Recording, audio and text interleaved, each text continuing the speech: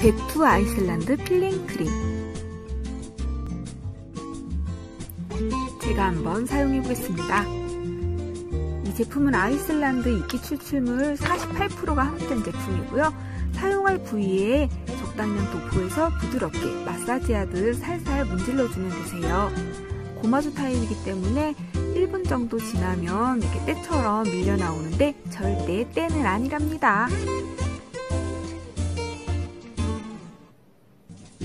물기가 없는 상태에서 사용을 해주셔야 되고요.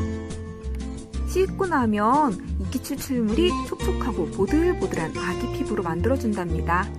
Thank You Farmer 고맙습니다.